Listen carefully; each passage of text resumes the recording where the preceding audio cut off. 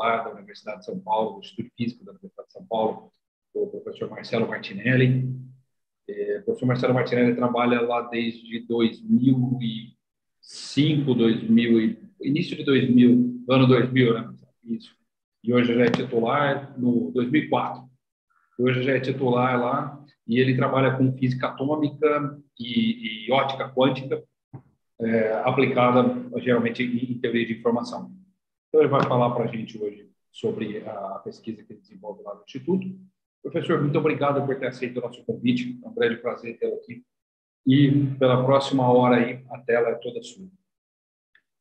Lucas, muito obrigado pelo convite, obrigado pela oportunidade.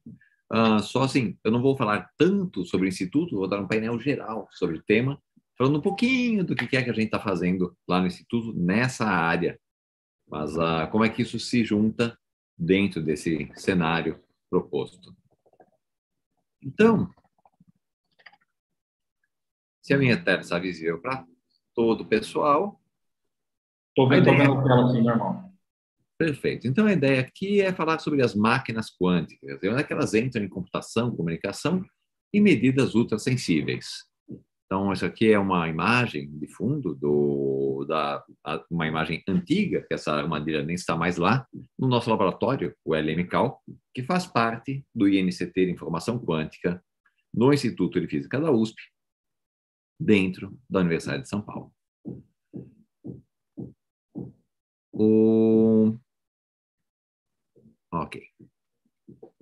Então, a ideia aqui é muita discussão sobre a mecânica quântica encarada como uma teoria da informação, a qual permite obter o conhecimento completo de um sistema. E esse é um ponto fundamental. Você tem todo o conhecimento sobre o sistema através da mecânica quântica. E a pergunta aí é se você pode fazer o contrário. Dada a informação que você tem, quais são as regras da mecânica quântica, como você pode utilizá-la como uma forma de processar a informação. Entre as propriedades que a gente usa justamente como uma, para processamento de informação, temos duas fundamentais. Uma é a ideia de superposição de estados, que nos leva a um espaço muito mais denso do que aquele que a gente tinha em uma teoria clássica de informação. E outra é investigar essas correlações não locais em nível quântico. Essa ideia do emaranhamento permite correlações perfeitas, que de, outro, que de outra forma, por uma teoria clássica, sobre a qual temos uma incerteza na medida da informação, advinda da mecânica quântica, não teríamos capacidade de ter essas correlações perfeitas. Mas a gente vai ver um pouquinho que essas correlações podem ainda ser perfeitas dentro da mecânica quântica.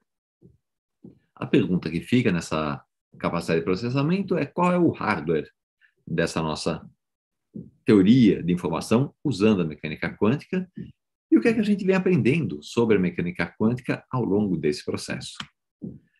Bom, a mecânica quântica, essa teoria bem sucedida, estabelecida basicamente ou consolidada na, nos anos 30 da, do século 20, nos permitiu fazer essa primeira revolução com o desenvolvimento de transistores. Aprendemos sobre estado sólido e sobre, uh, sobre semicondutores, de forma a poder fazer chaves compactas usando transistores que podem ser integradas em, em vários deles em um chip, levando aos primeiros circuitos com vários dispositivos integrados em uma única pastilha. Essa é a parte da eletrônica. Por outro lado, o laser permitiu a gente obter a capacidade de manipular a luz. A fotônica, grande capacidade de comunicação que nos leva a esses, essa, esses dispositivos que hoje temos, que podem ser usados, por exemplo, esse tipo de situação que temos agora, vivendo nesse instante, uma comunicação com diversas pessoas em diferentes lugares, com áudio, vídeo, informação ao vivo. Isso mostra justamente essa ideia que a gente está nesse mundo governado pela informação, em que a gente tem uma demanda exponencial, ou muito mais um crescimento exponencial, advindo, uma revolução tão grande quanto a revolução industrial, em que você tem esse número de transistores em um chip dobrando a cada ano e meio, dois anos. Aí a famosa lei de Moore, uma ideia empírica que você tem esse crescimento exponencial que se repete também, quer dizer, você tem essa redução no tamanho do seu transistor.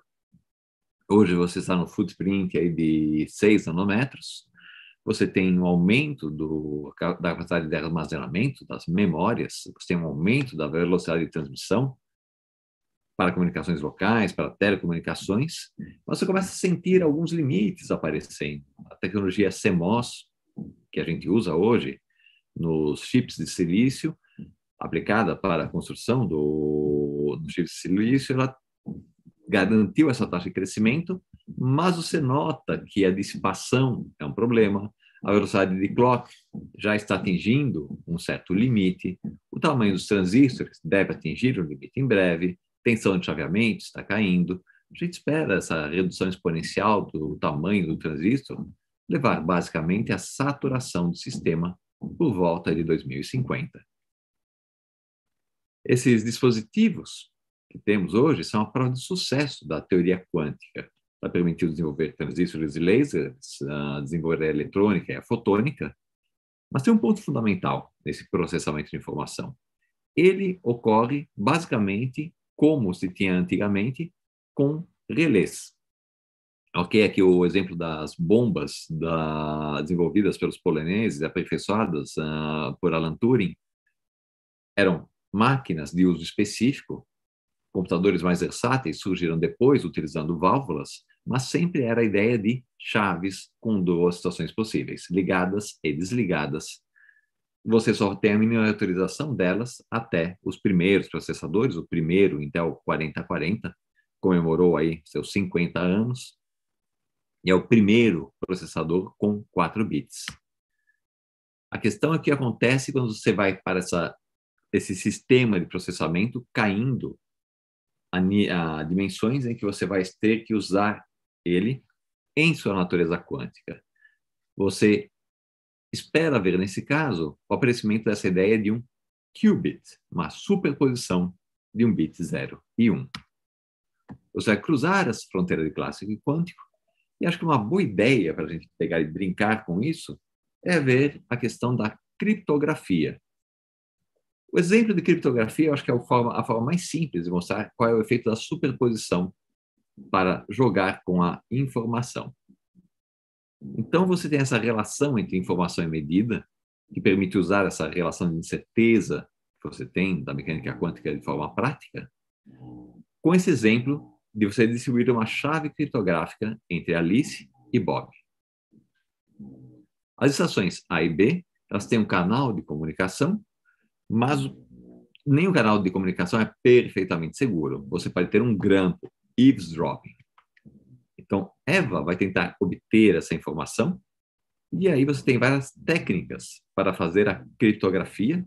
Uma delas, essa criptografia de chave simétrica, em que Alice pega a mensagem, codifica com uma chave, envia para Bob, e Bob usa a chave para decodificar e recuperar a mensagem. O que Eva vê aqui na linha é apenas ruído provocado pela codificação entre mensagem e chave. O exemplo mais simples é o bloco de cifras de utilização única, simples e robusto. Tá? Pense numa frase como gato de Schrödinger, você usa uma chave aleatória, e quando você faz a soma módulo 2 aqui, em ASCII, desses caracteres, você sai com um conjunto aleatório de, de caracteres também, dada a aleatoriedade da chave. Na estação remota, você repete, você pega essa chave, faz novamente uma soma módulo 2, usando a da chave sobre a mensagem, e o que você tem no final é a volta da mensagem original. Se você utiliza uma outra cifra, uma chave completamente aleatória também, mas distinta, a resposta não faz nenhum sentido. Onde é que está a segurança aqui? Se você utilizar um conjunto aleatório de caracteres para a chave, a saída é aleatória. Essa aleatoriedade está na saída é assegurada se você utilizar essa chave apenas uma vez. Se você começar a repetir a chave para enviar informação, você começa a ter algumas redundâncias que podem servir como o gancho para você começar a decodificar a mensagem. Outro ponto importante, a chave tem que ter o mesmo tamanho daqui da sua mensagem. O que equivale a você dizer que você não está reproduzindo ela ou repetindo ela para mandar diferentes trechos. Se você satisfaz essa condição, a segurança é absoluta, desde que a chave seja aleatória e a parte mais difícil, fazer com que Alice e Bob tenham essa chave. E somente eles tenham a chave. Então, essa confiabilidade do portador, a confiabilidade da distribuição de mensagem, é o ponto crucial desse bloco de cifras de utilização única. Tem uma forma interessante que foi feita, que é para você distribuir chaves, a, fazer uma distribuição assimétrica de chaves para aplicação em codificação de chave simétrica. Esse protocolo, RSA, está baseado justamente na dificuldade que você tem para fatorar números primos. Então, se você tem, você pega dois números primos, faz o produto, você tem uma chave com um tamanho grande o suficiente, a qual, para de, ser decodificada, precisa saber quais são os números primos que deram origem. O RSA 250, por exemplo, ele foi faturado em 2020 com várias máquinas, pegou-se dois números primos muito grandes, gerou-se uma chave de 250 bytes e usando assim o que seria um computador top, seria equivalente a 2.700 anos de uma CPU rodando. Quer dizer, foi feito com processamento paralelo, com várias máquinas, para poder quebrar essa chave RSA 250. A chave RSA 2048, até o momento, ela é segura. Quem sabe quais são os PIQ que geraram esse número, consegue decodificar uma mensagem codificada com essa informação. Então, o que é que você tem? Você tem a estação de Alice, que manda a chave segura utilizando o protocolo RSA para a sua unidade de destino. Então, usando esse protocolo, você distribui a chave. Ela é segura desde que você não consiga obter os números primos que geraram este número. Claro, isso está confiando em poder de computação. Classicamente, é o problema difícil, é o problema que cresce exponencialmente. Quanticamente, não é mais verdade. Você pode ter processos polinomiais que permitem essa decomposição em fatores primos em tempo polinomial usando o algoritmo de Shor. Então, se você pode quebrar uma chave RSA utilizando a computação quântica, por outro lado, você pode usar a mecânica quântica para fazer a criptografia segura das mensagens, como foi proposta por Bennett Brassari em 84, usando superposição de estados. protocolo BB84, basicamente tem essa imagem, que vocês já devem ter visto várias vezes, em que você vai codificar o seu bit 0 ou 1 um, em diferentes bases de polarização, horizontal, vertical ou diagonal, direi, eh, diagonal positiva ou negativa.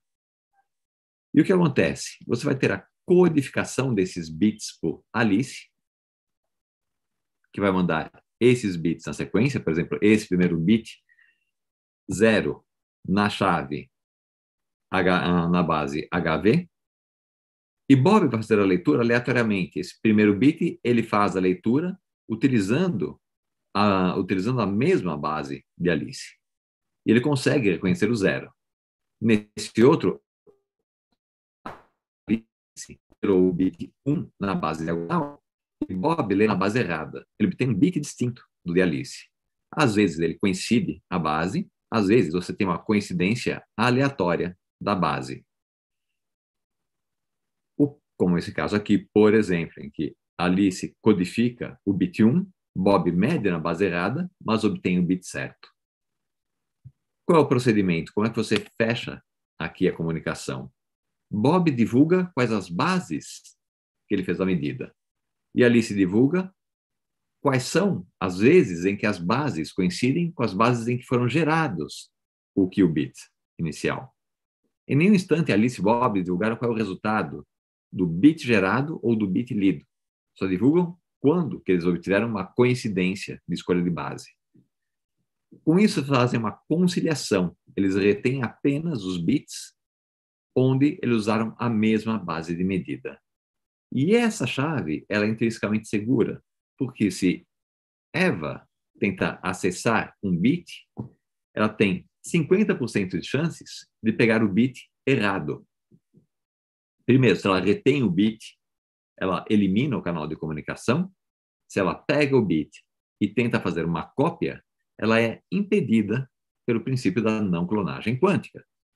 Ela não pode ter uma máquina que pega um estado aleatório qualquer e escreve aqui uma cópia perfeita. Se você faz uma transformação unitária desse estado psi com seu estado S de folha de papel, sheet of paper, você vai ter para produzir esse estado clonado na saída, a máquina tem que funcionar para qualquer estado, psi ou phi. Quando você tira o produto aqui de um lado e de outro, você vai ter somente que psi produto φ tem que ser igual a psi produto φ ao quadrado.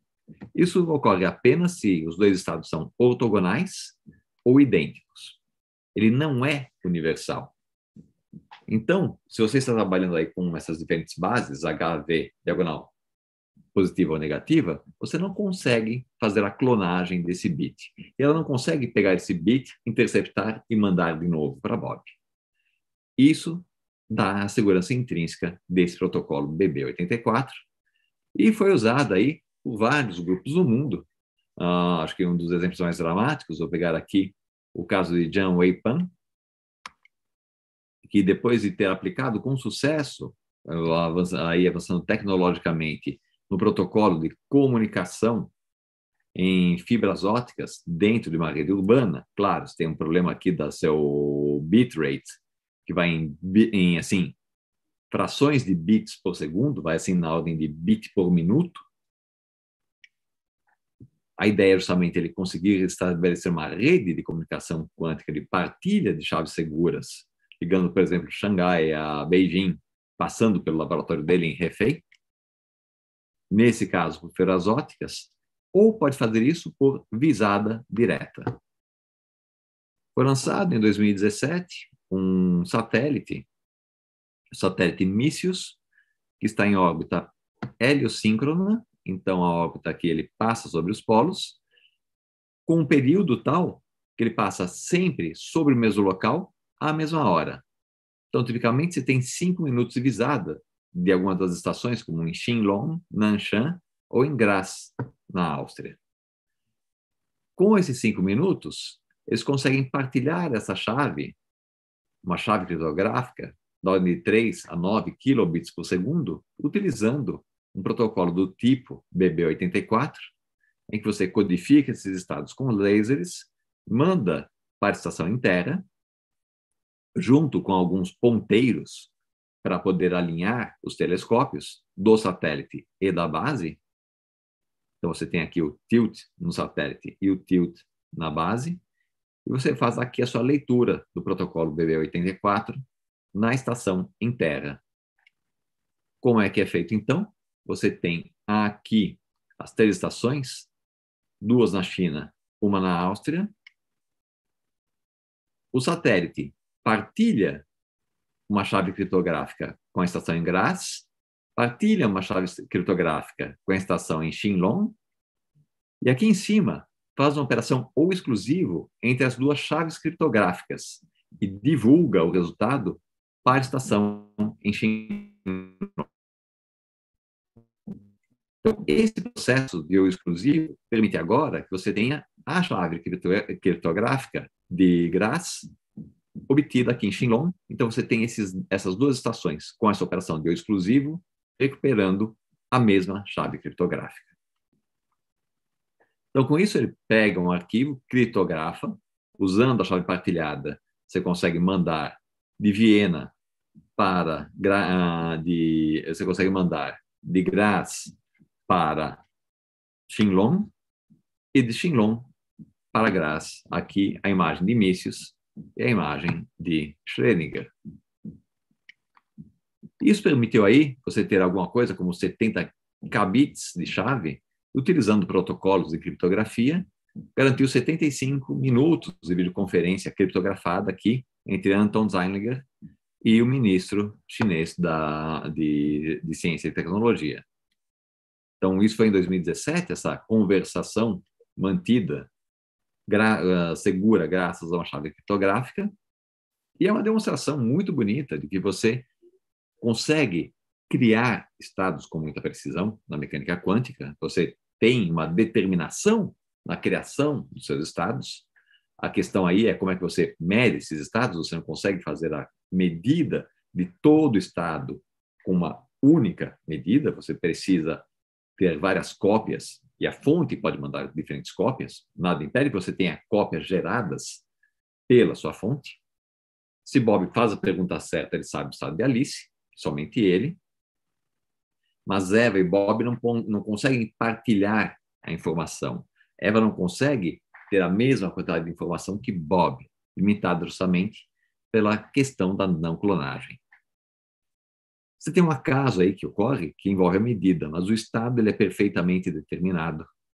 Agora, isso aqui leva a uma discussão interessante sobre esse acaso e incertezas na mecânica quântica que levam justamente à questão do paradoxo EPR. Esse desconforto que Einstein, Podolsky e Rosen expressaram em 35 sobre a questão de você ter estados e discutir se eles poderiam ser considerados completos na mecânica quântica. Voltando aqui ao exemplo de emaranhamento, rapidamente, aquela ideia que você pode criar duas partículas em uma, em uma combinação que é uma função perfeitamente permitida pela mecânica quântica, você descrever esse estado localizado na diferença de posições, na soma de momentos, mas você mede a posição da primeira partícula, você obtém o momento da segunda. Se você mede a posição da, uh, se você mede a posição da primeira partícula, você tem a posição da segunda. Se você mede o momento da primeira partícula, você tem um momento da segunda. O resultado, então, é que você tem uma partícula que, conforme o resultado da primeira medida, você sabe que a segunda está num alto estado de posição ou momento. Ora, o desconforto deles. Você não pode, pela mecânica quântica, ter a segunda partícula em alto estado simultâneo de posição e momento.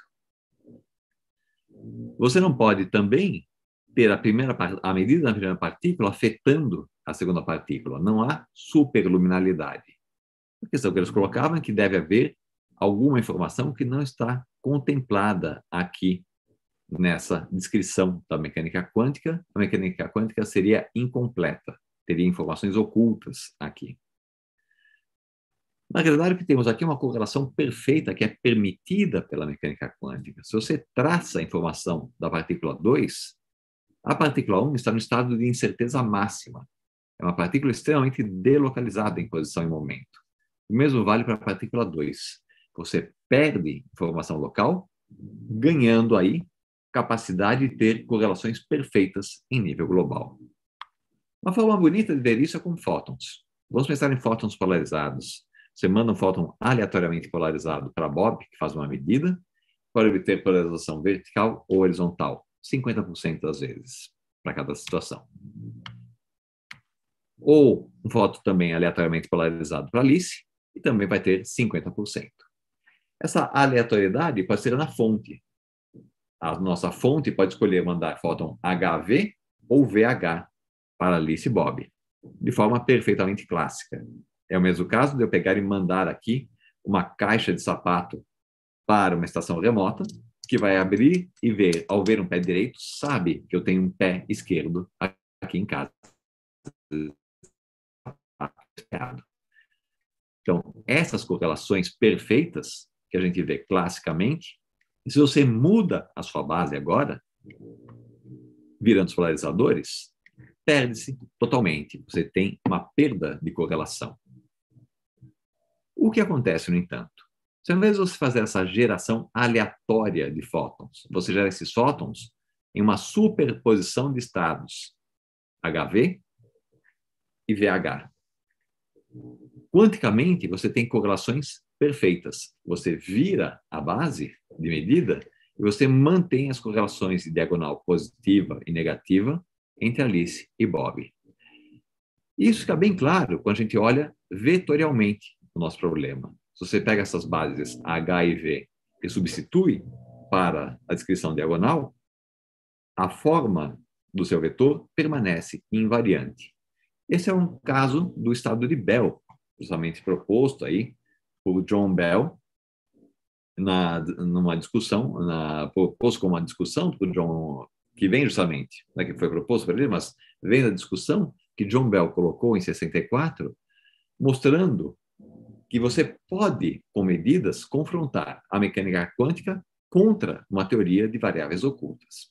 E todo mundo sabe, ou a, a, os resultados obtidos em experimento, em, como, por exemplo, esses aqui, realizados por Anton Zeilinger ou Nicolas Gissin, você tem esses fótons emaranhados produzidos, e aqui, nessa região de superposição dos cones de emissão de fótons, você tem uma superposição de um fóton do cone inferior na, base, na orientação H nessa direção, com um superior, um fóton do cone superior na, na polarização vertical, e vice-versa. Ou um fóton do superior aqui detetado na vertical, indicando que tem, o que tem um fóton na polarização horizontal aqui do outro lado. Então, esse estado gerado tem esse emaranhamento em polarização, que pode, por sua vez, ser empregado numa versão modificada do protocolo BB84. Você tem uma fonte que produz esses pares de fótons que vão para as estações Alice e Bob onde você faz as medidas e observa essas correlações. Mais uma vez, esse é um outro experimento que estava no satélite Mícios e que saiu agora em maio de 2020. Aqui você vê que Eckert participou também do, das discussões da, do experimento, em que você tem aqui uma fonte de fótons emaranhados que vão para as estações em solo. A versão anterior precisava confiar que o satélite que fazia a operação de O exclusivo, era uma fonte confiável. Você dependia da confiabilidade da fonte e do sigilo dela para poder partilhar a informação de criptografia. Nesse caso aqui, você não precisa mais confiar na fonte. Os fótons gerados são emaranhados e a chave criptográfica não é gerada com apoio do satélite. Ela é gerada em terra na escolha de polarização de medida. Então, você tem a desvantagem que aqui você tem uma taxa de geração de fótons muito menor. Então, você tem alguma coisa como 0,12 bits por segundo. Você usou aí vários dias para produzir uma chave super segura de 372 bits. São apenas 47 caracteres, que é mais ou menos o tamanho desta frase aqui. O melhor do que um link terrestre operando numa distância de 1.100 quilômetros. Então, você tem essa demonstração também desse protocolo seguro de criptografia, utilizando o Eckert em comunicação via satélite. Resumindo, então, o que nós vimos nessa primeira parte de comunicação quântica, o que é que a gente aprende? Que você tem uma relação de incerteza aí que protege o seu sistema, expressa aí, por exemplo, pelo teorema de não clonagem quântica, e que você está, você tem de um lado a capacidade de produzir estados bem definidos, ou, por exemplo, superposição desses estados bem definidos, que você manda para duas, duas estações remotas. Essa é uma outra forma de você ver o emaranhamento como uma superposição não local. Isso te dá, por exemplo, recurso para uma extrema segurança em essa parte de comunicação de dados. Agora, o que é que a gente pode usar de emaranhamento e superposição para a parte de processamento, para processamento, para computação? Eu vi que deu um bip aqui de que a conexão estava instável. Está tudo bem aí na conexão? Eu estou escutando, ela cortou um pouquinho agora, é, tá. mas é, não, nada, nada que comprometesse. Tá bom. Agora, o que é que tem a ver isso com a parte de computação? Vamos voltar um pouco aqui para Turing, a ideia do processador, a máquina de Turing, o elemento, um elemento base que serve para fazer qualquer processador. Você pode fazer com processadores eficientes, mas no fundo eles podem ser decompostos em uma máquina que lê os bits em uma fita, ele compara o estado da fita com o seu estado interno, ele pode alterar o estado interno, dentro do resultado, ele altera o seu estado interno, altera a fita, move a cabeça um passo para a esquerda ou um passo para a direita. Então, com isso, você pode fazer qualquer máquina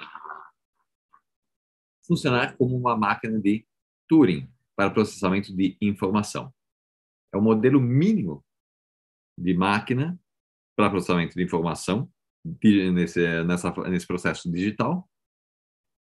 E todo, toda a computação pode ser decomposta e reduzida a processamento por máquina de Turing. Basicamente, ela confia em processos que vão envolver, por exemplo, a memória, para armazenar essa informação, armazenar esse bit, e operações lógicas, usando álgebra booleana, sobre os bits. Então, essas portas lógicas pode ser, por exemplo, uma porta NAND, que é A, E, B, barra, que é um elemento básico para construir um processador de informação, e memórias, que podem ser estáticas, você escreve um estado e por alimentação ele se mantém, ou dinâmicas, em que você carrega o estado no capacitor, carregado ou descarregado, e de tempos em tempos você entra e lê para compensar a descarga sofrida pelo capacitor. Bom, vamos cruzar então agora a fronteira entre esse clássico e quântico. Ao invés de trabalhar com um bit, a gente passa a trabalhar com uma superposição de estado 0 e estado 1, um, nosso qubit. Então, em computação quântica, vamos ter esse qubit envolvendo aí esses dois parâmetros, alfa e beta, que podem ser descritos então em uma esfera, como uma esfera de Bloch ou uma esfera de Poincaré. Se você pensar num sistema de dois níveis ou na polarização de um fóton, então você vai ter esses dois parâmetros, θ e φ, correspondendo aí justamente ao seu alfa e beta. Você pode usar uma representação matricial para o estado do seu qubit. Isso aqui nos dá justamente a ideia da superposição. Seu qubit está numa superposição de 0 e 1. Um. A leitura vai ser dada como 0 ou 1 um no final, mas o estado é uma superposição. E essa superposição você pode ter portas lógicas unitárias. Classicamente, você tem uma porta lógica que você pode transformar o zero em 1, um, 1 um e 0. É a porta inversora. A transformação unitária, nesse caso correspondente, é a porta X, que vai transformar o bit 0 em 1 um, e o 1 em 0. Então, você vai transformar os seus estados, e o que você vai ter aqui é uma rotação do seu qubit na esfera. Você pode ter também outras portas possíveis aqui, lidando com a superposição, que você não tem equivalente clássico. É a porta Hadamard, por exemplo, em que você tem aqui algo que entra com uma superposição de 0 e 1, um, e ele vai girar esse bit em 90 graus. O que é zero vira o equivalente, se fosse polarização, sua polarização H virava, uh, virava mais, e a polarização V virava 45 graus menos. Então, você passa a ter aqui essa descrição na forma de uma combinação de zeros e uns, envolvendo alfa mais beta para zero, alfa menos beta para 1. Um. Você vai representar por uma matriz essa porta. E aí, com duas, aí, além disso, fez portas que acoplem dois bits, não controlada, control not, que que é que você tem aqui? É basicamente a sua porta ou exclusivo, aqui A e B, onde você retém informação de um dos bits de entrada, por exemplo, o bit A. Então, essa porta ou exclusivo vai ser representado, então, por uma matriz 4x4, que tem agora uma propriedade bem interessante. Se você entra com a superposição de estado aqui em A, a sua saída, aqui um estado produto, na sua entrada, mas a sua saída vai ser um estado de Bell. Você vai ter essa superposição não local. Se A é zero, a saída aqui vai estar em 1. Um. Se A é 1, um, a saída aqui vai estar em zero.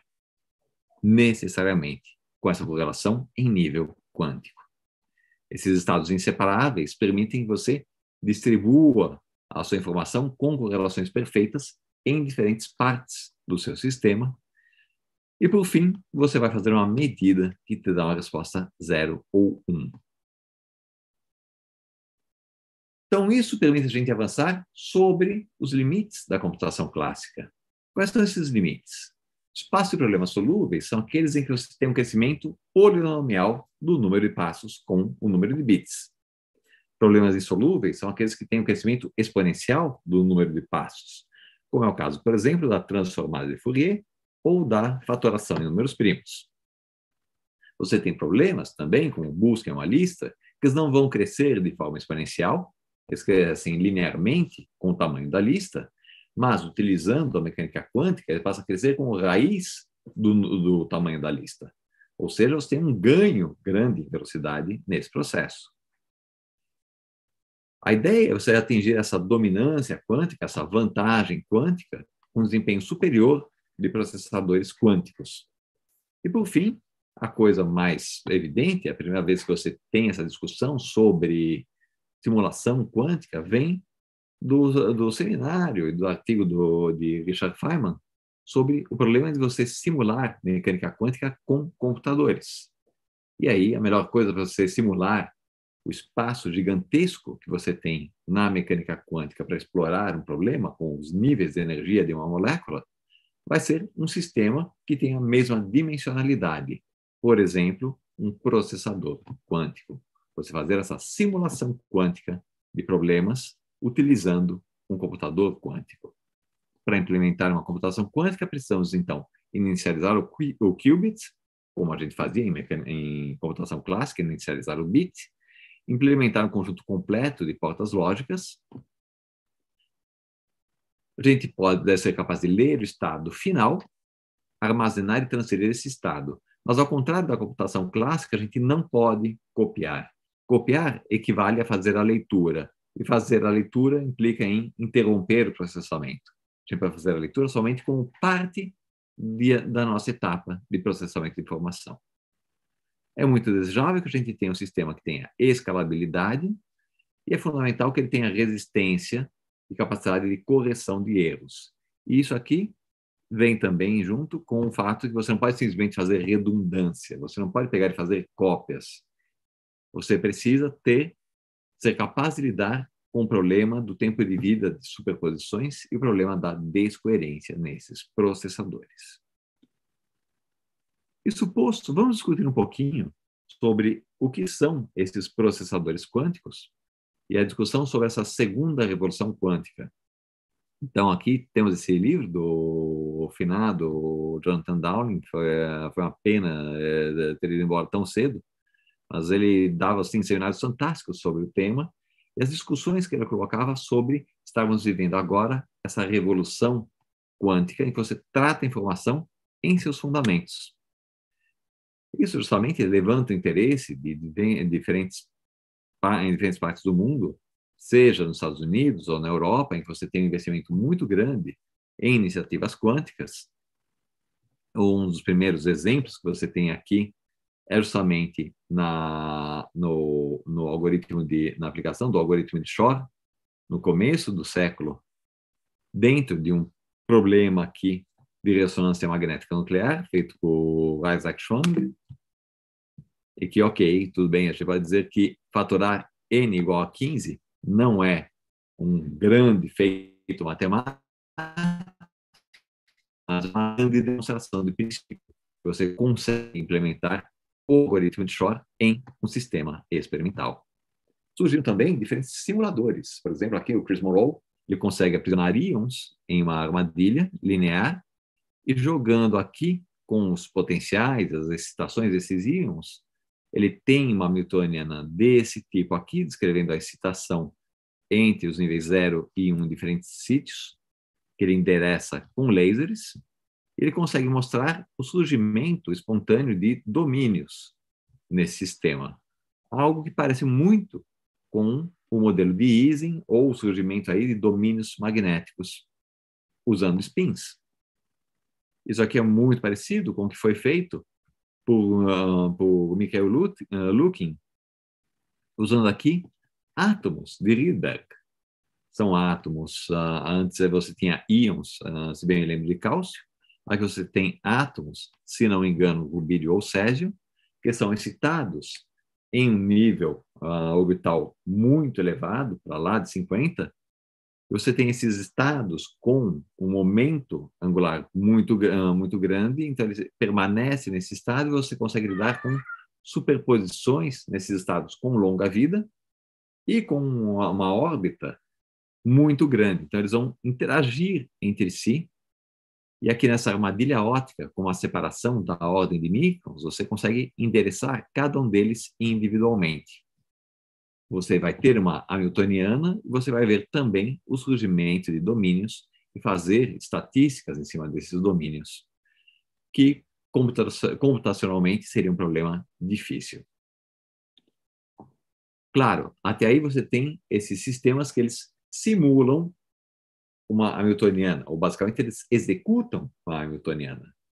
Você pode ter também qubits usando supercondutores. Então você vai ter aí junções Josephson e o estado de fluxo nesse nessa junção Josephson vai ser o seu qubit. Você pode fazer um sistema em que você vai poder lidar com esses diferentes níveis, os diferentes acoplamentos entre suas junções e fazer um problema de minimização, como é o processo, como é o processo proposto pela D-Wave, o seu processador quântico, usando essa ideia de quantum annealing. Mas esses não são computadores universais. A ideia de você ter computadores universais utilizando portas lógicas, ela tem sido implementada mais recentemente utilizando essas junções Josephson com uma capacitância grande acoplada, ok, grande aí entre aspas, né? Usando supercondutores, nesses dispositivos chamados transmons. Você vai ter diferentes uh, qubits implementados, acoplados por RF, dentro de um chip quântico, como no processador da IBM. A IBM colocou vários desses processadores para que pesquisadores brinquem com eles ao redor do mundo como, por exemplo, Chris Monroe, ele pegou e comparou o sistema dele com a armadilha com cinco íons aprisionados com a, o sistema de cinco, com um processador de 5 qubits da IBM, para implementar uma porta Toffoli, e demonstrou que a fidelidade do sistema dele é superior àquela do processador da IBM. Claro, tem um interesse aí que é vender o próprio peixe discutir que justamente átomos fazem computadores melhores, posto que cada átomo aqui é sempre igual ao outro, diferente dos qubits, com supercondutores que vão ter respostas diferentes entre si. Essa é uma limitação. Esses qubits vão ter diferentes frequências, eles precisam ser tratados separadamente, um a um, bem como seus acopladores. Mas o átomo também vai ter, né, Marcelo? É, essa é uma discussão. Não é verdade, porque veja, o átomo, o campo, o campo que está lá aprisionando o átomo não é perfeitamente homogêneo. Então, hum. cada posição diferente que o átomo está, você vai ter uma largura de banda diferente, ele vai ter uma resposta diferente. Esse que é o ponto. Se você olha aqui o efeito Stark, por exemplo, ele vai ser Exato. muito sensível a quão próximos estão seus átomos da superfície. Exato. E as flutuações do campo que não são homogêneas? Exato. Então você vai ter essas diferenças aí que você vai tentar justamente buscar corrigir isso, buscando transições em que você tenha o níveis uma resposta para os campos externos, buscando superfícies que sejam cada vez melhores, ou ajustando a distância. Então, essa que é a discussão que surge dentro da comunidade de quão idênticos são esses átomos. Quer dizer, os átomos eles são idênticos, certamente, mas os sítios em que eles estão não são. Aí a discussão é como é que você trata essas inhomogeneidades. Você pode tentar fazer os átomos ficarem mais semelhantes entre si, mais próximos de uma situação ideal, ou a solução daqui da Google, que é um tanto de força bruta. eles têm aqui os seus 53 qubits com acopladores ajustáveis, aqui os acopladores são não lineares, diferentes dos da IBM, e nessa situação, eles fizeram um gigantesco, quer dizer, a parte do, do materiais e métodos desse artigo é impressionante, porque eles fazem um mapeamento das frequências de operação de cada um desses acopladores. É um problema técnico você fazer a manipulação disso. Mas execuível. Eles fazem a embalagem, endereçam separadamente cada um dos qubits, cada um dos acopladores e conseguem fazer esse processo de basicamente você fazer essas operações seguidas dentro da, do seu qubit, acoplando-os lateralmente, aplicando portas lógicas na sequência e verificando essa distribuição de informação, medindo aqui essa esse cross, essa fidelidade de entropia cruzada. Fazer essa conta dessa fidelidade é um processo que, por exemplo, as 53 qubits, utilizando esses circuitos com uma sequência como essa, é verificável. Leva cinco horas para fazer o cálculo aqui, com 53 qubits, com um computador clássico, em algo que leva aí alguns minutos para ser feito no computador quântico, para ele entregar aí com essa distribuição com várias repetições e você fazer o levantamento estatístico. O ponto é que, classicamente, se você faz uma sequência de hipóteses como esta aqui, ela é classicamente verificável. Se você muda aqui a sequência, desse passo aqui com esse, invertendo a ordem, esse aqui já começa a ser difícil de computar. Por exemplo, pode levar uma semana com o processador que eles tinham, ou quatro anos, ou 60 anos, conforme você vai aumentando o número de ciclos em que você vai fazendo esse passo aqui dentro dessa sua rede, dentro desse seu mesh. O melhor computador que eles imaginam levaria aqui duas horas, duas semanas ou quatro anos. E o ponto final aqui que eles defendem que com 20 ciclos levaria 10 mil anos do melhor computador da IBM para fazer essa conta.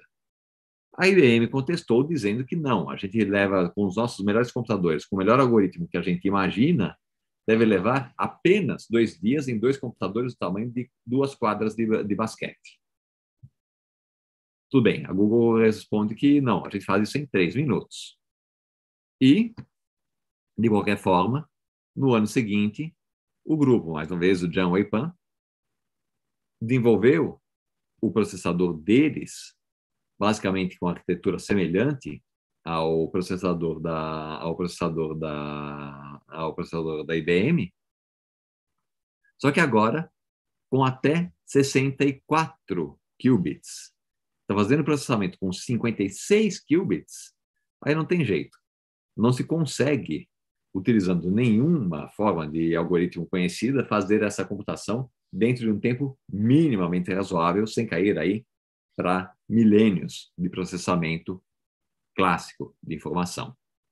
O nome do computador é dado em homenagem a um matemático chinês do, do século V, o Zhu Xiongzi, mas demonstra justamente essa competição ferrenha ocorrendo aí entre esses diferentes atores aí, a IBM, Google e o grupo em refém. Ô Marcelo, é o Thiago. Você posso fazer um, uma pergunta? Não sei se você vai saber responder um detalhe. Talvez assim, eu estou olhando aqui. A fidelidade ela diminui com o número de qubits. Mas eu, eu esperaria que se você vai aumentando o computador, se tivesse mais erros. Eles têm uma correção de erros, alguma coisa. É, isso é uma conta assim um pouco. É o que, você, chama de fidelidade.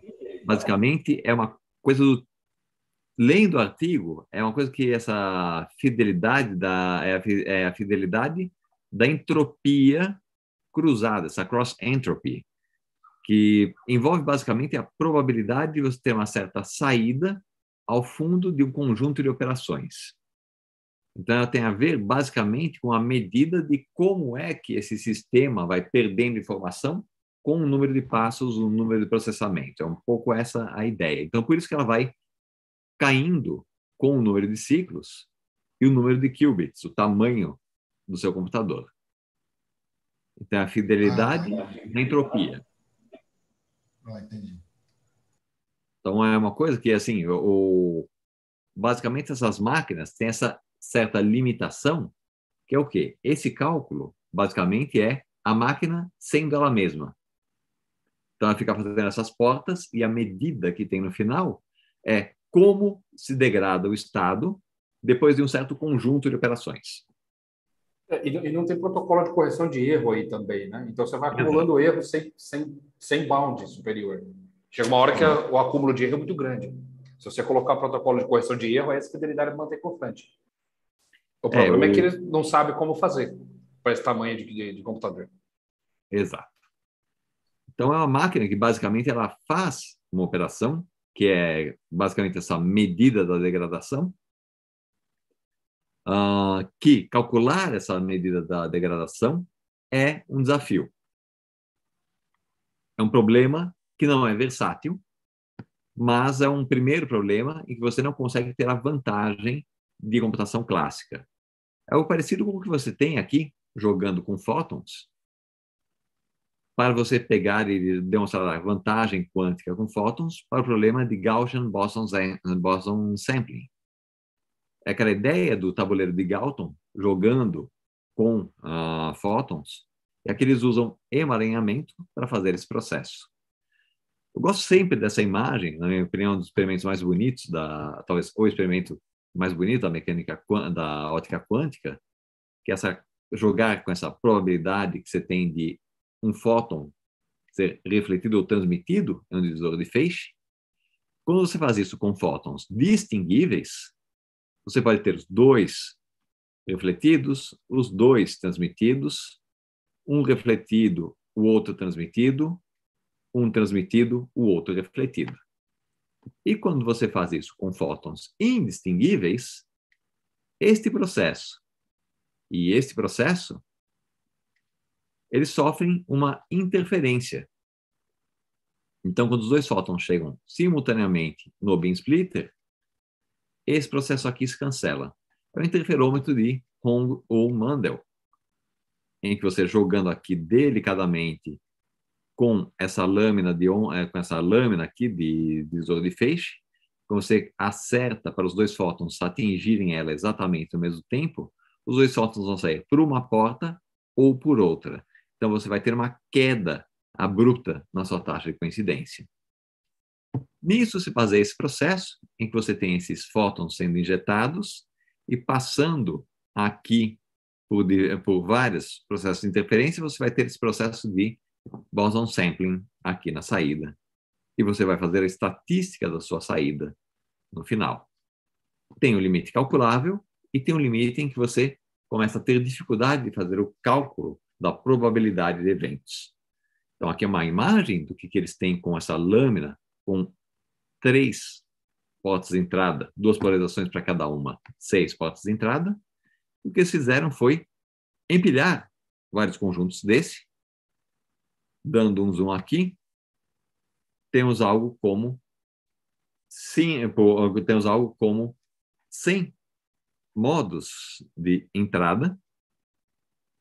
Aqui, desculpa, é uma matriz 25 por 25. Você tem aqui 50 desculpa, entre 5 por 5, você tem aqui 50 de saída de um lado, 50 de saída do outro, com duas polarizações possíveis, dando aí os 100 modos de saída. Eles entram aqui apenas por uma porta, com os pares e fótons, eles fazem essa superposição alinhando aí todos as 25 fontes de pares e fótons e conseguem fazer esse processo em que eles consegue fazer a simulação, experimento e teoria, com parte da configuração que é computável, e estimar essa fidelidade nesse processo ir para o limite em que não é computável usando recursos clássicos. Então, o que, é que nós temos até o momento são isso, são processadores quânticos que realizam tarefas muito específicas, como essa amostragem bosônica, a amostragem bosônica quântica, ou esse cálculo dessa, dessa de fidelidade dessa entropia cruzada com mais rapidez do que máquinas clássicas. A briga aí justamente é com essa decoerência, ou você colocar protocolos de, de correção de erro e tentar estender ao máximo o tempo de vida. O problema aí é achar um problema prático onde eles sejam imbatíveis. Se você fizer isso, você pode eventualmente ter um recurso para quebrar a segurança de dados criptografados. Por outro lado, comunicações quânticas já se revelaram totalmente seguras, com taxas baixas, mas que podem ser ampliadas com, uh, com recursos tecnológicos. Para ir para a última parte aqui, só queria, vejo que aqui a, já estamos avançados na hora, mas vou discutir um pouquinho também o que, é que se pode fazer saindo de qubits, indo para medidas. Em ótica, a gente tem vários pontos que a gente consegue fazer, lidar com a interferência de campos, medindo, nesse caso, quadraturas. Então, vamos representar esse nosso campo dentro de uma representação de Fresnel, envolvendo quadraturas x e y, x cosseno θ, y seno θ, para o nosso campo eletromagnético, na frequência ômega, que segue uma relação de certeza. Amplitude e fase vão corresponder agora essas ideias de posição e momento que você tinha na descrição de partículas, e você pode brincar aqui com estados comprimidos. Então, um estado de vácuo, você vai ter, pegando emprestado aqui a imagem do livro do Ozzy Milburn, você vai ter essa incerteza na sua amplitude e fase do campo, então o seu campo vai estar meio borrado nessa sua oscilação. Mas você pode produzir uma compressão e você pode ver como uma compressão de amplitude. Então, você tem a medida da amplitude como a redução da incerteza, ou uma compressão de fase, a medida do instante em que ele cruza o campo igual a zero, reduzida na, ampli... reduzida na incerteza. Então, isso aqui é um campo com uma pequena valor médio, uma flutuação associada, que a gente observa aqui. Nesse caso, é o nosso squeezing de amplitude. Se você tem uma medida que você traduz nessa observação da quadratura de um campo, você consegue obter o melhor resultado possível para fazer a medida dessa grandeza. É o caso do interferômetro LIGO. Você tem aqui um interferômetro gigantesco com dois braços de 4 metros, em que você usa uma cavidade para tecnicamente aumentar ainda o tamanho desses braços de interferômetro. Então, você vai ter esses dois interferômetros Fabry-Perot, fazendo os braços do interferômetro de Michelson-Morley, do interferômetro de Michelson. E aí, o seu campo de entrada na sua franja de interferência vai te dar, na saída, qual é a distorção que você tem no espaço para um lado e outro. Então, aqui você tem diferentes fontes de ruído. Por exemplo, o ruído termorefrativo do coating dos espelhos, você tem movimento browniano, você tem o ruído térmico da sua suspensão dos espelhos, ruído sísmico aqui, em frequências mais baixas, mas você tem ainda aqui uma fonte de ruído de origem quântica. Ela contém, ela contém dois efeitos aí: a flutuação quântica do campo incidente essa incerteza da medida do campo, e a flutuação estatística que você tem dos fótons incidindo no seu espelho, produzindo um deslocamento dele pelo recuo na reflexão, a quantum back action. Esses dois limites que estão sendo agora investigados para serem vencidos e puxarem essa linha mais para baixo, conseguir reduzir esse ruído quântico atualmente é o componente dominante para boa parte do seu espectro, utilizando emaranhamento e estados comprimidos.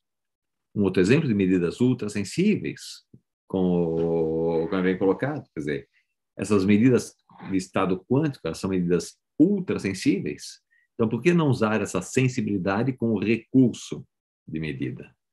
Você tem aqui essa ideia de você usar, por exemplo, átomos para medir campos magnéticos muito fracos, como os produzidos pelas correntes que você tem pelos disparos dos neurônios.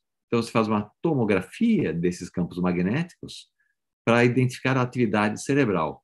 Você pode fazer isso utilizando squids, mas é um dispositivo muito grande que envolve uma limitação de movimentação do paciente. Ele não pode se mexer aqui dentro, ou é um dispositivo gigantesco mantido aqui, seus squids a temperatura ultra baixa, para você poder medir o campo magnético.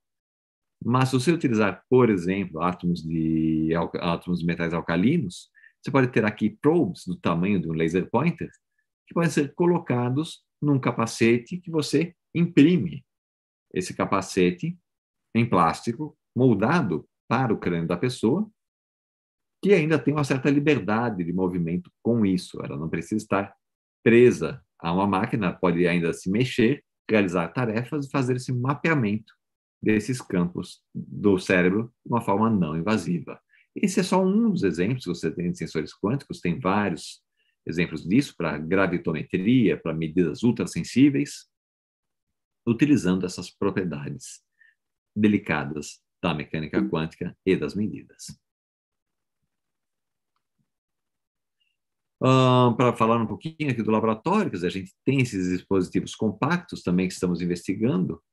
Nesse caso, você conseguir fazer a integração Existem propostas de você fazer esse, isso utilizando a tecnologia, a tecnologia CMOS aplicadas em chips de nitreto de silício, para obter fontes, sejam de estados emaranhados, sejam fontes sintonizáveis em frequência, com dispositivos integrados em pastilhas. Tudo bem, o footprint aqui ainda são alguns milímetros que você tem. Esse anel aqui tem um diâmetro de fração de milímetro, você consegue integrar vários deles em uma pequena pastilha e utilizar isso como uma base, seja para gerar esses estados comprimidos, seja para gerar o processamento de informação em variáveis contínuas do campo.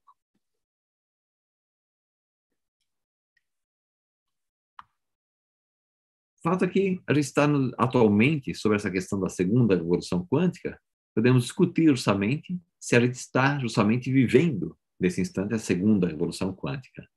Você tem, enfim, a capacidade de fazer a criptografia quântica com uma velocidade limitada, é um desafio a ser superado. Você tem processadores quânticos crescendo em tamanho, mas ainda a demonstrar a sua versatilidade, mas você tem detectores quânticos existentes hoje em dia, permitindo testar os limites do mundo à nossa volta, utilizando esses dispositivos, investigando aí justamente a fronteira dos limites da incerteza em processos de medida. Então, para fechar, só colocar um pouco o cenário quem, quem que nós somos no LMK, o grupo que é tocado por mim e pelo Paulo, que contém que tem até o momento, quer dizer, o Wilder acabou de ser admitido na Federal do Mato Grosso do Sul, e aqui temos três estudantes que estão fazendo, estão defendendo doutorado nesse semestre. Então a a estrutura aqui vai sofrer uma, um rearranjo aqui nas, nos próximos meses, mas esse aqui é o nosso grupo que conta com apoio de CNPq CAPES e bastante apoio da, FAPESP, da FAPESP em nossos projetos temáticos. Está aos poucos saindo da operação remota e indo, enfim, para a situação ao vivo. As máscaras estão liberadas em espaço aberto, mas no laboratório nos mantemos ainda protegidos. É isso, pessoal. Agradeço o convite e estou aberto a, questão, a perguntas. Muito obrigado, Marcelo. Excelente seminário. Ah, bom, é, agora está tá aberto a pergunta. Estava aberto a perguntas desde o início, mas é, se alguém quiser se manifestar. Estava aberto, mas. É, algum comentário, alguma pergunta agora, é só é, levantar a mão aqui. Lembrando que a gente pode fazer perguntas no YouTube também. Eu, eu não sei por que, que meu chat aqui não está funcionando, mas o Thiago está de olho no YouTube e ele vai, ele pode pegar as perguntas lá e passar para a gente. Ah, Paulão, Pode abrir o microfone e falar. Oi, Marcelo. Obrigado pelo, pelo seminário, muito legal. É interessante ver essa abordagem é, geral né, sobre informação quântica e, e computação quântica. Eu queria te perguntar o seguinte: parece que a gente tende a fazer o caminho da computação eletrônica é, na computação quântica, né? Por exemplo, começando com computadores enormes, né? Eu lembro quando eu era criança eu via umas salas gigantescas assim com aquelas fitas magnéticas assim e tal. E isso foi é, sendo integrado, né? Até chegar hoje em dia uma escala de integração é, bastante elevada. Né? E, e, então a minha pergunta para você é o seguinte: você acha que é necessário fazer as coisas na computação quântica exatamente dessa forma, ou seja, buscando métodos de integrar os sistemas e para miniaturizar e chegar a um computador quântico que seja é, não só né, tenha vantagem quântica, mas que seja viável tecnicamente. Né? O ponto é que aqui você vê, você vê um tanto obrigado a partir da miniaturização.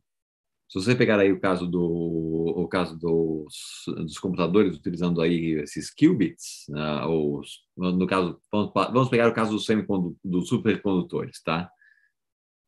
Nesse caso, você tem que sair do, dos seus chips pequenos, quer dizer, esse pequeno aí, você vê que o chip é do tamanho vai de uma uma moeda com esses 53 qubits, umas, algumas dezenas de qubits dentro desse chip usando um, recurso enorme para poder fazer a manipulação dele. Então, quer dizer, continua sendo uma coisa grande para você manipular, mas o processador em si ele é pequeno, o footprint dele é pequeno. O problema é você fazer isso escalonável, sair de baixo para cima. Ele tem que ser um pouco de baixo para cima, até pela operação. Ele tem que estar numa temperatura de 30 milikelvin. Então, aí o volume dele tem que ser pequeno fica a pergunta, quer dizer, conseguiríamos sair realmente do, da parte mais ainda mais abaixo, quer dizer, você manipular isso em nível atômico, ou fazer chips, fica um pouco aquela imagem dos quantum dots. Aí você está lidando com, com, não com supercondutores, está lidando com uh, semicondutores. E aquela dificuldade que você tem de implementar os quantum dots de forma controlável. De forma a você ter realmente cada quantum dot produzindo aí fótons que sejam indistinguíveis e integrar esses fótons dentro do, de um chip. Então você está nessa parte, eu diria que você está numa mesoescala. Você não está com, você não está ainda saindo daquela coisa do grande, da, dos recursos grandes que você está reduzindo. Você intrinsecamente tem que ser pequeno no seu tamanho da fonte, no seu tamanho da unidade de processamento. Você não consegue baixar muito além disso por exemplo, na questão aí do, desses, desses dispositivos em RF, você tem essa dificuldade de endereçar se eles forem muito pequenos. Oticamente, você não consegue baixar ah, poucas ah, assim, frações abaixo do comprimento de onda, como é o caso daqueles microchips, ou todas essas implementações, aquela, aquele dispositivo lá do de processamento fotônico, photonic uh, boson sampling, é um dispositivo macro, é uma mesa ótica realmente com quantidade absurda de espelho. E você pode fazer isso aí integrado dentro de um dentro de um chip, mas você não consegue ser muito menor do que um chip com alguns com alguns milímetros de tamanho. Então acho que integração baixar na escala, não consigo ver muito para onde vai. Seria interessante realmente fazer isso bottom up Posso, posso ah, fazer um comentário? Que está assim nessa intermediária. Sim, por favor. É, é que é o seguinte, tudo bem, eu concordo com você que o chip, o chip é do tamanho de uma moeda, ele é pequenininho, né? Ah, só que o chip sozinho não faz nada. Você precisa de todo o dispositivo para gelar o cara, para esfriar o cara e para endereçar cada um dos qubits. é, por exemplo, o computador, o computador, da Google ele é, ele é, grande, é um dispositivo bem grande. Uhum. Então, é como o Paulão está falando, é um negócio gigante lá. O chip está lá no meio de um cilindro, é uma garrafa térmica. E tem os cabos que ficam entrando lá, que inclusive é, eu, isso foi 2019, quando fui visitar a Google, o sujeito lá dentro, acho que é o primeiro autor daquela, daquela lei que você mostrou, ele falou que o maior problema deles não era o número de qubits, porque eles poderiam aumentar para mil qubits se eles quisessem o chip. A questão é que eles não conseguiriam colocar os cabos, porque não tinha espaço para colocar cabo para ler, ler, todos os qubits, os qubits. Então eles teriam que mudar a tecnologia, porque o negócio ia ficar gigantesco e não tem espaço físico mesmo para colocar. Então o problema deles não era nem quântico. Eu acho que é nessa, nessa, nessa linha que a pergunta do Paulão foi, né? Que você tem um negócio, é. o negócio é gigantesco. O, o Lucas e, e Marcelo, é, na verdade, eu, o que eu estava pensando né, quando eu fiz essa pergunta era o seguinte: será que não existe uma, um caminho né, para, digamos, para uma arquitetura de computador quântico que seja grande, que seja macroscópico, etc., mas que tenha uma capacidade de, de processamento é, tão grande e que isso possa ser feito remotamente, né? Como você tem supercomputadores hoje, né? Então você pode ter um negócio que é do tamanho de um prédio, mas ele tem uma capacidade de processamento tão grande que vale a pena, né? Você ter aquele prédio ali, sei lá, com, com lasers, com sei lá, com átomos, alguma coisa assim, né? Eu estava pensando um pouco nisso, né? Ou seja, fugir do, do paradigma da integração, né? Da miniaturização. Hum. É uma boa pergunta aí que entra o ponto. Qual seria o sistema que poderia trabalhar dentro de um volume grande? Nesse sentido, fica aquela sensação se, a, se dispositivos fotônicos seriam o caminho, porque aí, vamos lá, se você está lidando com fótons, você não precisa estar assim tão preocupado com a questão do com a, com a questão do resfriamento. Você não precisa do regime criogênico para lidar com luz. Então, a menos situações em que você tem um campo intenso, que não é o caso, você pode pegar e lidar realmente com a, a temperatura ambiente e fazer isso sem se preocupar muito com a integração. Aí seria um pouco essa ideia, de você partir de máquinas grandes e eventualmente ir migrando para máquinas menores à medida que sua tecnologia avança. Uh, dispositivos fotônicos como as válvulas, esperando chegar aí, o que, é que seria o, trans, o transistor quântico, seria uma, seria uma pergunta interessante. Como é que você passaria aí do esse caminho de relés para válvulas, para transistores, para transistores integrados. Se você vai ter esse caminho avançando. É curioso que você não vê muito sendo implementado. Em parte, acho que deve ter essa questão da limitação, e aí que entra a parte séria, a limitação na fotônica, que é você poder parar o seu processamento e fazer outras etapas. Você não consegue eh, realmente no caso de fotônica, está sempre no voo. O seu qubit está sempre voando. Você não consegue dar uma pausa nele, avançar uma outra etapa e juntar dois, as duas informações. Coisa que aí, ok, tudo bem. Você pode ter um, um etapas de processamento, você para um lado, você avança aqui, faz mais, dá mais dois passos de processamento, depois você junta as duas saídas de, seu, da, de duas portas, sendo que uma você teve alguns passos a mais de processamento. Coisa que aí dentro dessa integração você tem, por exemplo, nos qubits, com transmons, é possível.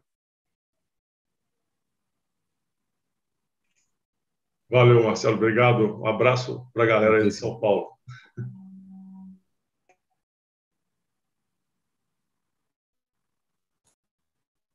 Ah, pessoal, mais perguntas?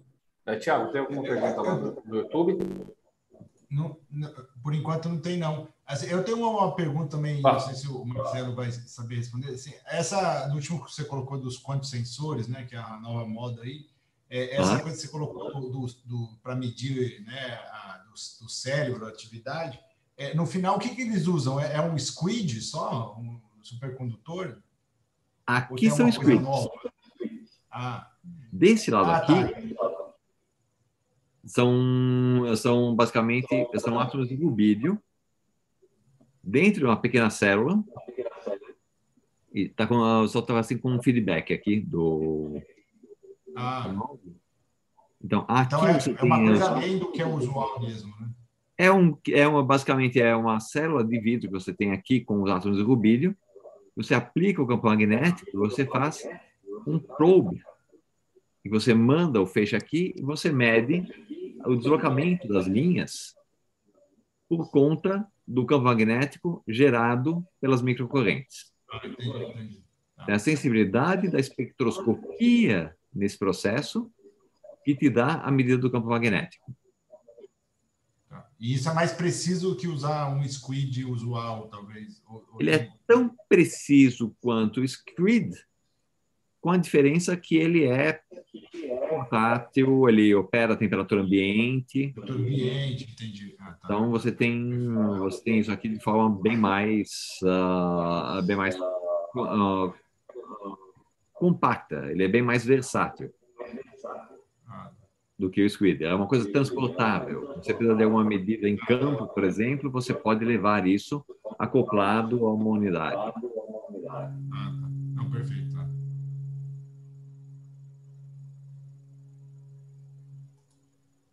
Então, para isso... Aqui... Pode, pode falar. Não, para isso, por exemplo, quem trabalhou, quem está trabalhando com isso aqui é o Hans, que fez aqui o fez o pós-doc com o Matthew, está no nosso grupo, pós-doc, ele está com a montagem trabalhando com isso, tentando fazer imagens de campos magnéticos utilizando células de células de rubídio. E com isso fazer um mapeamento realmente 2D do que, que é o campo. Mas aí esse é um campo extremamente fraco. Então esse é o tipo de trabalho que ele está desenvolvendo.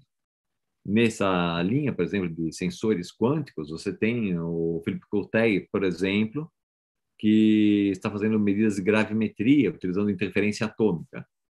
Então, o objetivo é você ter átomos presos em uma cavidade, fazendo a interferência de imagens quânticas nesse, de imagens desses átomos, você conseguir ver uh, variações de, da aceleração deles por variações do campo gravitacional local. Então, um gravímetro atômico.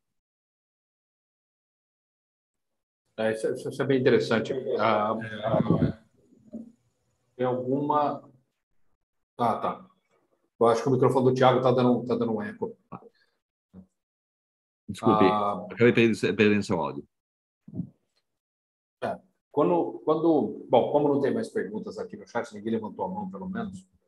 Ah, Marcelo, tem uma última questão, que é assim, a gente está vendo todo esse desenvolvimento é, no, no, planeta realmente aplicado, é, no, você mostrou da, da, na Europa, nos Estados Unidos e na, e na China. Uhum. É, qual, qual que é a sua expectativa para isso ser feito no Brasil? E eu falo no Brasil, eu falo São Paulo porque é o único lugar hoje que tem financiamento, que tem algum tipo de financiamento que, que possa desenvolver isso, né? Porque tecnologia quântica, não, a gente tem o know-how já teórico, agora a gente precisa de investimento experimental pesado para poder desenvolver alguma coisa factível, né? Uhum. Não estou nem falando para concorrer com o chinês, que ele tem, ele tem até satélite para ele. Isso é, é, é outro nível, é outro patamar. Mas qual que é a sua expectativa para a gente desenvolver algo nesta linha? É, sobre o caso da China é uma coisa curiosa, porque o, basicamente o Zeilinger estava querendo fazer aquele processo de comunicação via satélite. Ele fez vários trabalhos envolvendo comunicação com links nas Canárias, mostrando que, ok, funciona com link com essa densidade atmosférica, mas ele não conseguiu embarcar o, embarcar o projeto em satélite. E o antigo colaborador dele lá no laboratório, o Jian Weipan, ok, tudo bem, conseguiu botar no, conseguiu o, o, instituto dele é gigantesco, conseguiu botar tudo no satélite e disparar. Então é inviável competir, uh, competir. Quer dizer, dá para você acompanhar, mas não, não sair jogando no, na mesma quadra. Mas, no caso específico, dá para a gente pensar o que é que a gente pode fazer em cima disso. Algumas possibilidades, tá? Você tem em São Paulo discussões de você ter aí redes em que você aproveita a capacidade instalada, aproveita os recursos que você tem da FAPESP para investigar tecnologias quânticas. Parece muito mais próximo da gente trabalhar com sensores do que fazer processamento de informação. Você vai trabalhar aí somente em medidas ultrassensíveis. E aí você tem uma diversidade, quer dizer, a variedade de problemas que você tem vai ditar quais são os, quais são os limites que você tem para fazer essas medidas ultrassensíveis. Tem uma coisa que a gente pode começar a pensar também, e isso aí na, é até uma intenção nossa de pegar, investigar o que é que você pode fazer, por exemplo, de imagens quânticas em raio-x. Você tem aí um desenvolvimento uh, ocorrendo com nessa parte de imagens quânticas, o Paulão tem, tem mais experiência nisso.